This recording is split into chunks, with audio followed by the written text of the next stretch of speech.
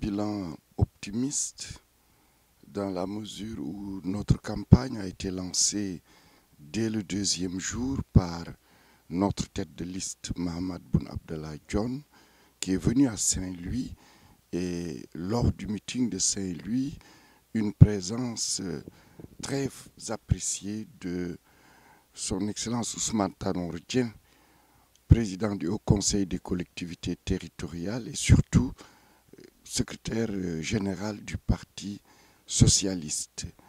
À Saint-Louis, tout au long de cette campagne, nous avons senti une unité très forte entre les partis membres de la coalition Benno Bokyakar, ce qui a permis au comité électoral départemental de fonctionner régulièrement.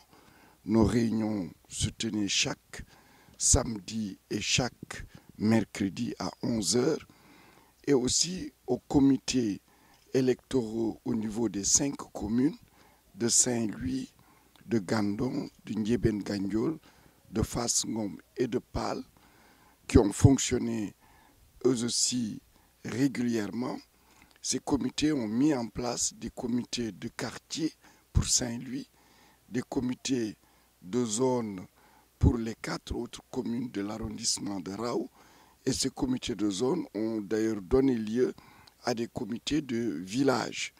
Tous ces comités ont fonctionné avec en leur sein non seulement les partis membres de Benno Bokyakar, mais aussi les coalitions, les, les, mouvements de soutien au président Macky Sall, les associations des membres de la société civile et des indépendants qui se reconnaissent dans la politique du président de la République, M. Macky Sall.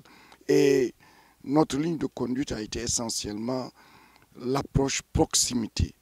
Aller voir les électeurs là où ils sont, dans les quartiers, dans les villages, les rencontrer, discuter avec eux pour les convaincre et aussi de temps en temps quelques meetings, quelques caravanes et cinq activités départementales, dont une activité majeure qui était la journée consacrée à la jeunesse qui s'est déroulée à Gandon.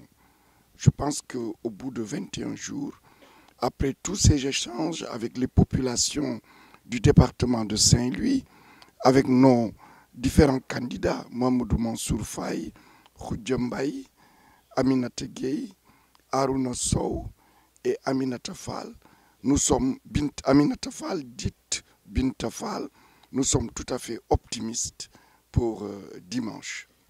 Professeur, euh, on vous a vu sur le terrain, d'aucuns vous ont donné l'étiquette de sapeur-pompier dans la coalition Benno. Est-ce que ce, cela rime avec ce que vous avez fait sur le terrain, l'étiquette qu'on vous a donnée? Moi, je joue mon rôle de coordonnateur du comité électoral départemental. Dans ce sens, je suis le chef d'équipe, je suis l'entraîneur et le coach avec tout le comité électoral départemental. Je suis en même temps un responsable politique dans le département de Saint-Louis. Donc, je suis allé partout où le besoin se sentait, ou partout moi-même où je pensais que je pouvais apporter quelque chose. Et c'est ce qu'ont fait les différents candidats, les différents responsables politiques et même des personnes dont le nom sans doute n'a pas été cité et qui ont contribué à ce qu'aujourd'hui, à deux jours des élections, nous soyons optimistes. Professeur, on a noté de la violence sur le terrain politique. Euh, comment analysez-vous ce phénomène?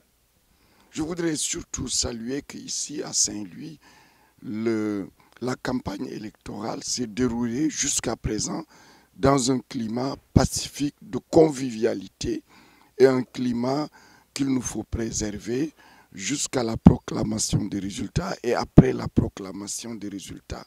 Ceci, c'est la culture de Saint-Louis.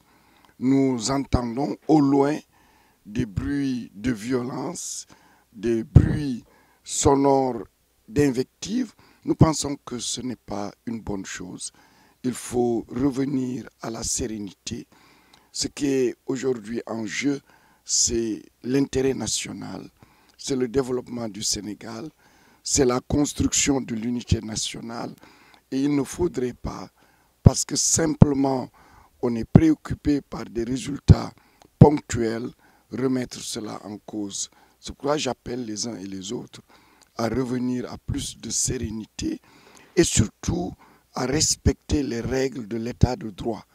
Nous sommes un état de droit, nous sommes une vieille démocratie et ce n'est pas dimanche qu'on vote pour la première fois ou la deuxième fois. Et nous avons toujours voté et il faut continuer à voter dans le calme, à voter, à rentrer chez soi, attendre la proclamation des résultats. Nous le savons au Sénégal, personne ne peut voler les résultats et les médias sont là d'ailleurs pour porter témoignage et éclairer et informer tous les citoyens des résultats sur l'ensemble du territoire national et hors du territoire national et que chacun soit fair play. Le résultat sorti des urnes, de toute façon, s'imposera à chacun.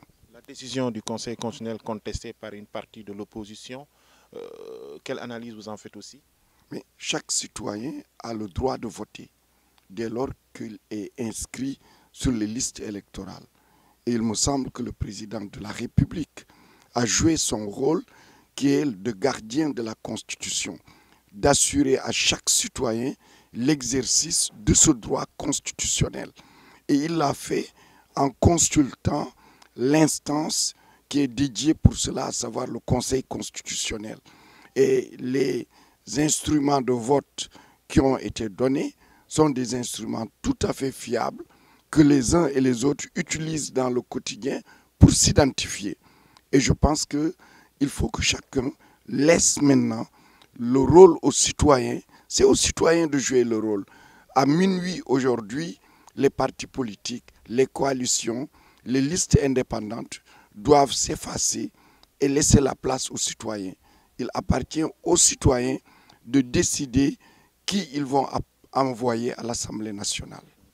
L'appel que vous lancez à l'endroit des Saint-Louisiens et autres militants de la coalition Benno C'est de se lever très tôt le matin et d'aller voter, d'aller prendre cinq bulletins, dont évidemment le bulletin de Benno Bokyakar avec cette tête de cheval royal avec le portrait de Boun Abdallah John, d'aller voter et de rentrer chez eux et d'attendre les résultats.